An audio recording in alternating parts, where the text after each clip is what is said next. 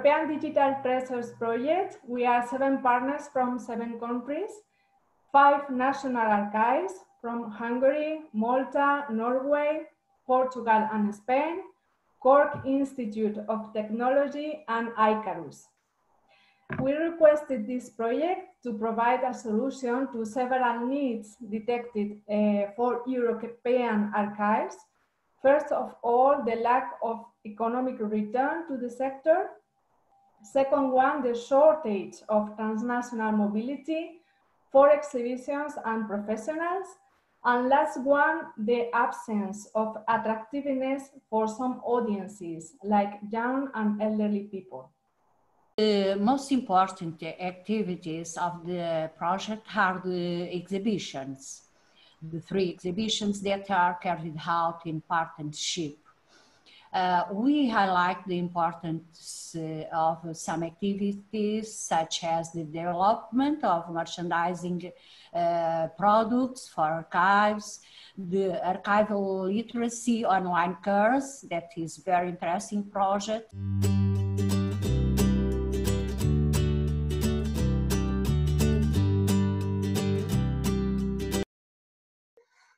Approaching the merchandise in a shared manner and ideally also with a shared narrative. In fact, these uh, merchandise have to be linked to the exhibitions, uh, will contribute not just to have something which is just nice, aesthetically pleasing, but also that is uh, contributes as well to the uh, development and acknowledgement of a shared European identity.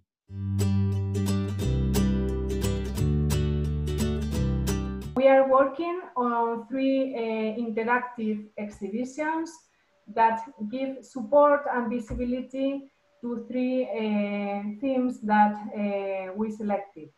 Uh, the first one is, the construction of Europe. The second one, migratory movement and exiles.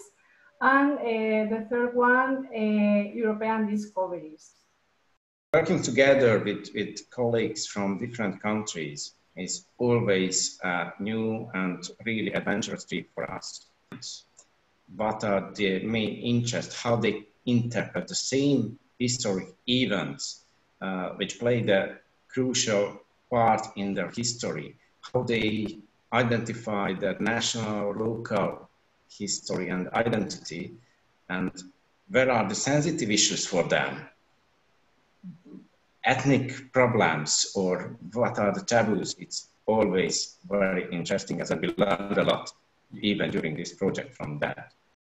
Very um, funny uh, or, or um, interesting uh, to, to try to bring these um, uh, sources to, to, to life into to the exhibition and together with documents from all over Europe and try to, to show that uh, our are not uh, uh, only unique, but they are also part of uh, part of uh, the big the bigger European picture. We are that we are all uh, actually we have a common history, even if we are have many many histories.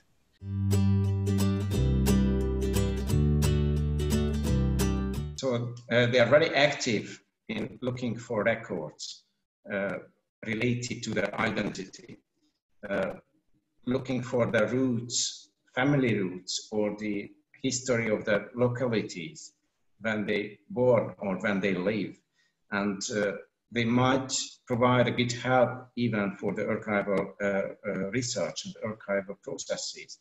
Uh, because as the digital treasures uh, survey showed us, they would be, they would volunteer, they would help to make indexes, help to make those kind of finding aids, which could help their research. So I think it's a, it's a very good uh, cooperation with them. Uh, I hope that the archival literacy online course uh, would be very useful for, for the teachers and for the uh, children. Uh, I hope that they can learn that archives can be fun to explore and that archives actually are hidden treasures, sometimes too well hidden, unfortunately. Uh, and I hope they uh, could learn that archives are important pieces of the big pictures that they are the sources to understanding the past. It will help them to learn how to search for things, that things don't happen, but you have to look for them. And uh, looking at your identity, your environment, uh, your family, your friend's family, your, your background uh, through uh, in the archives, through this uh, IT archival literacy course. I'm pretty sure, I'm absolutely sure actually that this, this, um, this partnership from the uh, European um, Digital Treasures project will also last into the future. And um, something that's also so interesting and, and positive about these European, uh, European cooperation projects is the fact that you have the, uh, you, you, plan to have personal meetings, uh, events, and, and, and also the international mobility. And so there's a lot of face-to-face -face meeting, which is which simply goes beyond all the um, the professional uh, professional output. And so that's something that keeps on lasting also after, after the end of the project usually.